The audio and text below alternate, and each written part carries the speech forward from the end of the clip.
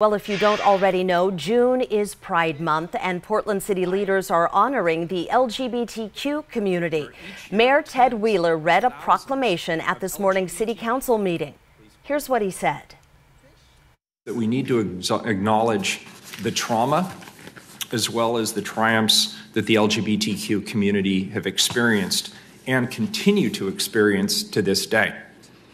I feel better knowing that there's a generation, for instance, my daughter's generation, that will grow up in a world where there is already a pride movement.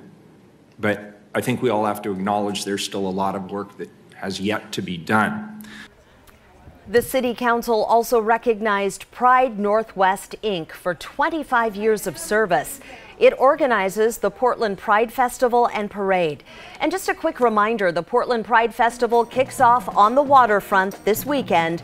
It runs from noon to 8 on Saturday and 11:30 to 6 on Sunday, and the parade itself begins Sunday morning at 11.